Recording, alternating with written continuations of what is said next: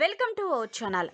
Prabhas ఏ మూవీలో చేసినా అది పాన్ ఇండియా మూవీగానే ఉండాలి. తాజాగా ఆదిపురుష్ చిత్రం గురించిన అప్డేట్స్ ప్రభాస్ అభిమానులు కృషి చేశాయి. ఇప్పుడు మరో వార్త వారిని ఎగిరి గంతేసేలా చేయబోతున్నాయి అదేంటంటే ధూమ్ ఫోర్ కోసం ప్రభాస్ హృతిక్లను నిర్మాత ఆదిత్య చోప్రా సంప్రదించనున్నారని తెలుస్తుంది. యష్ రాజ్ ఫిలిమ్స్ యాభైవ వార్షికోత్సవం సందర్భంగా ఈ చిత్రాన్ని లాంచ్ చేయనున్నట్లు సమాచారం.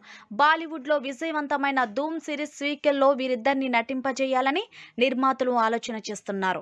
ఈ ప్రాజెక్ట్ కార్యరూపం దాలిస్తే బాలీవుడ్లో మెగా మల్టీస్టారర్ మూవీ ఇదే అవుతుందని బాక్స్ ఆఫీస్ వద్ద కాసుల వర్షం కురవడం ఖాయమని అభిమానులు తెగ సంబరపడిపోతున్నారు.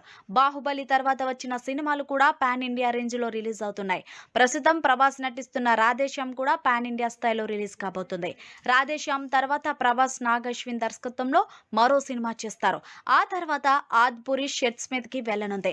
ఆది సినిమా స్టేట్ బాలీవుడ్ మూవీ కానీ ఈ సినిమా సినిమాను హిందీతో పాటు తెలుగులోనూ తెరకెక్కిస్తున్నారు. ప్రభాస్ తొలిసారి డైరెక్ట్గా బాలీవుడ్ మూవీ చేస్తుండటం అది కూడా భారీ స్థాయి సినిమా కావడంతో బీ టౌన్లో ప్రభాస్ గురించే చర్చ సాగుతుంది. గతంలో ఏ హీరోనికి లేని క్రేజ్ ఇప్పుడు ప్రభాస్ చుట్టూ తిరుగుతుంది.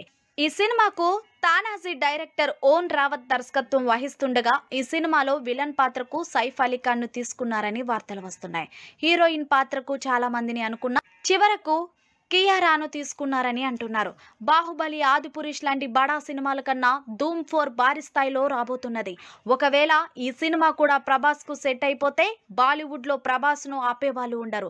రేసు గుర్రంలా దూసుకెళ్ళడమే. ప్రస్తుతం స్టార్లుగా కొనసాగుతున్న బాలీవుడ్ హీరోలను కూడా మించి ప్రభాస్ స్టార్ అయిపోతారంటూ ప్రభాస్ ఫ్యాన్స్ పండుగ చేసుకుంటున్నారు.